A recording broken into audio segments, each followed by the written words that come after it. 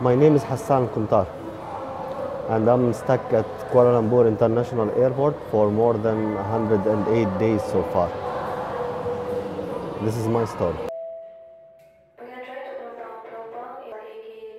I spend my day reading and on the net, my only access to the world. Asia Air gives me three meals a day, which is what I'm currently surviving on.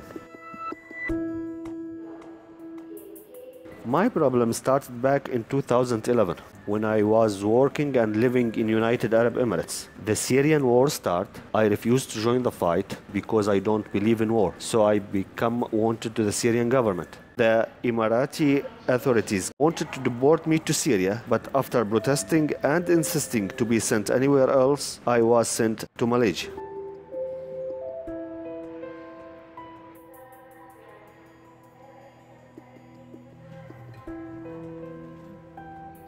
After three months of staying in Malaysia, which is the maximum amount of time I can stay in the country, I had to find another solution.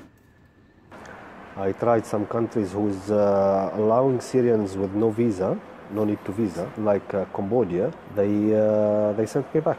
I get a ticket to Ecuador. They also don't require a visa from us as Syrians, uh, but the Turkey airline in uh, Malaysia airport uh, decided not to board me, so I lost all my money. And uh, as you can see, I'm an, uh, in an airport, stuck here actually. They are not allowing me to enter. Here is my friend Krishna. Happy birthday to you.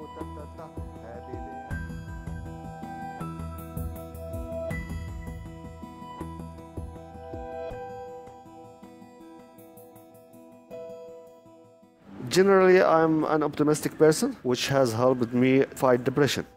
At first, I was angry at everyone until I realized those countries are not rejecting me for personal reasons, they are rejecting me because I am a Syrian. I am a part of the Syrian refugee tragedy started in 2011.